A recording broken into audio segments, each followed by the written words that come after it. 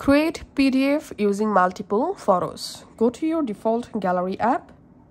Now we have to enable gallery labs. So tap on menu, settings, scroll down and tap on about gallery.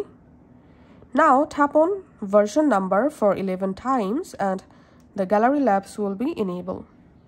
Now all you have to need from your gallery tap on menu, settings, scroll down all the way to the bottom tap on Gallery Labs. Under Gallery Labs, go down and enable Save as PDF option.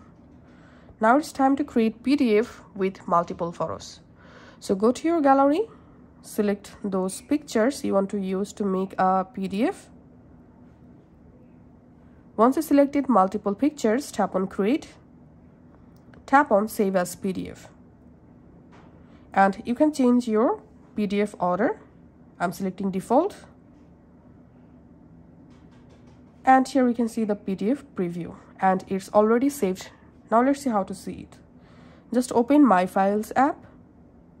In my files app tap on documents. And here is your PDF file. That's it